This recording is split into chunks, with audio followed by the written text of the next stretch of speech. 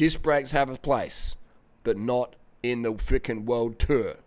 There aren't many problems on a bike which are more frustrating than having your brakes rubbing. We've got one here with exactly that problem. Now we're on cycling news over here, and Ganna DQ'd from Tour de la Provence for going for the brake bike. This is insane. This is 2022. What a year it is. We've got mandates on disc brakes. We've got mandates on experimental drugs. We've got all sorts of things going on out here in the world. Uh, this is hilarious.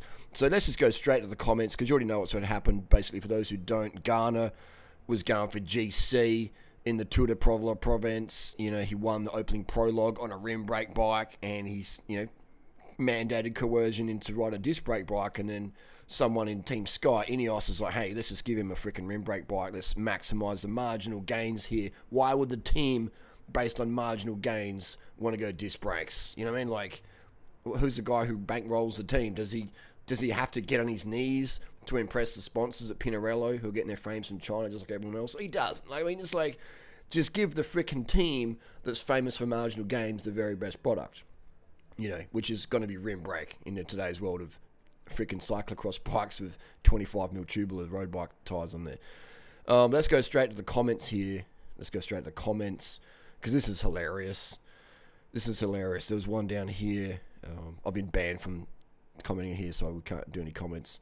So we have this one here. Someone says, How much do they think he would have gained from 300 gram weight saving? Absolute nonsense. So this guy here, Hector, again, not hating, just saying, Hector's got no idea of how cutthroat and close, what, you know, your weight is everything. Obviously, power as well, but, you know, if your I should say your watts per kilo is everything. So if you can save 50 grams, you save 50 grams as long as your bike's you know above the 6.8 kilo. You want to be 6.8000 on the money. If you want to you know get your best watts per kilo, every gram matters. Every gram matters.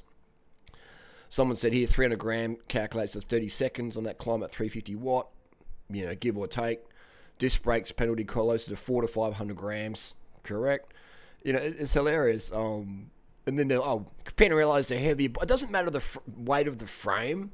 What matters is the total weight of the bike, and especially the wheels. Right? When you add disc brakes to wheels, you got that rotor, you got the aero drag, the extra spokes. You can feel it, man. It just feels crap on a road bike. Um, and so this guy, guy called Greg says numerous disc brake bikes are under 6.8 kilo. Can anyone link me to a GCN video or any any actual proof, Greg, you know, whoever Greg is, can you back up your claim with some video proof of a world tour disc brake bike at 6.8 kilo? You can't because it hasn't happened yet. Can you make a disc brake under 6.8? For sure. Will it be safe and ride good quality? Next question. So Alaphilippe's 52 centimeter SL7 is, is under 6.8 kilo. Under 6.8 kilo. Well, let's go to the fact here um, let's go to the fact here. This is Alaphilippe's bike. This has got a website here, DMCX. This guy looks like a bit of a bike geek, which is great. Me too. And he's got the stats down here, 7.3 kilos. And where did he get this data from? GCN. And where they get data, their data from? The Park Tool TS1 scale, where they actually picked up Alaphilippe's race bike and weighed it, 7.3 kilos. Sometimes it's 7.4. Just saying. Maybe with of wheels, 7.2.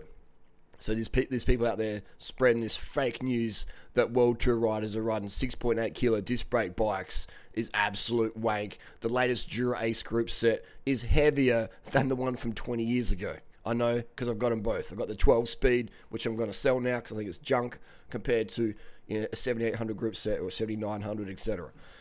So there you go. That's just that's just boom right there. And penal, penalized, penalized. Now I understand why they got penalized because then it's sort of a disadvantage if you're another team and you you know, you're gonna have, there's gonna be all these bikes all over the course and logistics. Let's just freaking get rid of disc brake bikes, or let's get rid of rim brake bikes. When you've got the two, or you know, or you got to pick. I mean, eh, again, disc brake bikes are dangerous. All right, anyone's ridden a disc brake bike at speed. I shouldn't say disc brake. I should say disc road with a 20 with a race tire at race psi and you're grabbing a bit of brake after emergency brake, you are sliding out, you are crashing. Look at all the crashes now.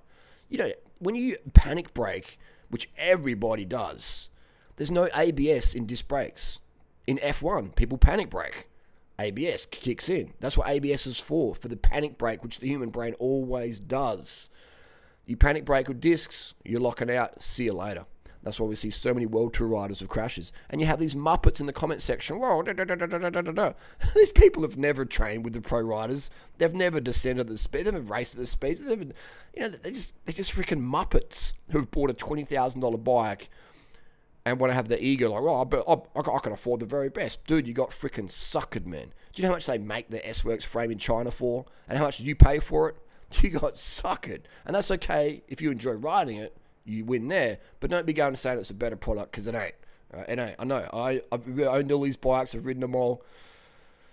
Marketing works. The marketing spin is rife. So, and that's okay. Ride the bike that you want to ride, but don't be saying it's better when it isn't. All right, because you just sound like a fool rim brake rim brakes for the win, disc for dirt, disc for e-bikes, disc for fat tires. When you got a 25 mil tubular or a 25 mil tubeless ride road race PSI, and you got disc brakes and high speed and big packs, close close tight knit sardine can bunch riding, you got so many crashes happening and so many pros. I, I get the feedback, man. He's dangerous out there now, Harley. He's more dangerous than ever before because these stupid disc brakes.